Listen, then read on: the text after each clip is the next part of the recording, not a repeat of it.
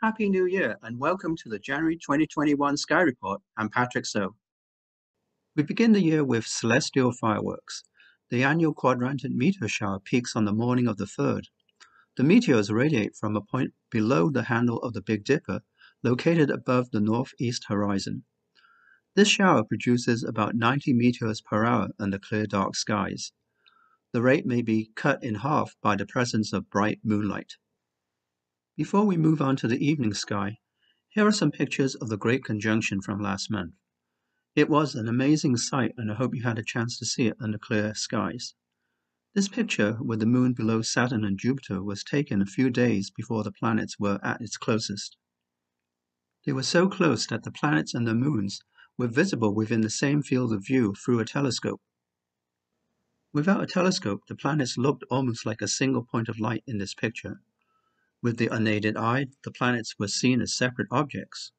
The planets were located in the constellation of Capricornus, the sea goat, close to the horizon in twilight. This month, Jupiter and Saturn are visible low in the southwest, shortly after sunset. On the 8th, Mercury joins Jupiter and Saturn in the twilight sky. The red planet Mars is located high above the southwest horizon, a few hours after sunset. It's visible throughout the month, setting after midnight. This is the best time of year to learn the stars and constellations. Orion the Hunter is the easiest to find. It's high in the south on January evenings. Look for the three stars in a row that marks Orion's belt. The reddish star Betelgeuse marks his shoulder, while Rigel marks his knee.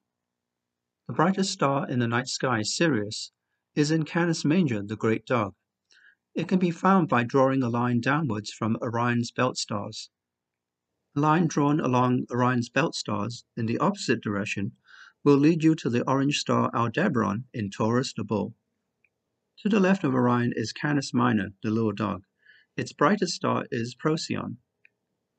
Gemini the twins are located above Canis Minor. The twins' heads are marked by the stars Castor and Pollux. These are just a few of the many constellations you can see throughout the year. On the 20th, Look for the crescent moon located a few degrees below Mars in the constellation of Aries the Ram. In the morning sky on the 11th, Venus and the thin crescent moon are low in the southeast.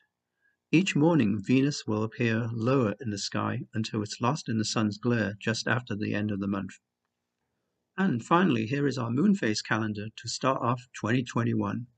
Last quarter is the 6th, new moon is the 12th, first quarter is the 20th, and full is on the 28th.